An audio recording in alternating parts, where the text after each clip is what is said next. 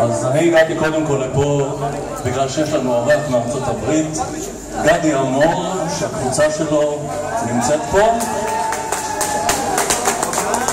וגם כשהגעתי לפה, במקרה פגשתי פה את בעל מנצח להקת השגרירים המיתולוגית, שהייתי אצלו לפני כמעט 30 שנה, יעקב אליעזרוב.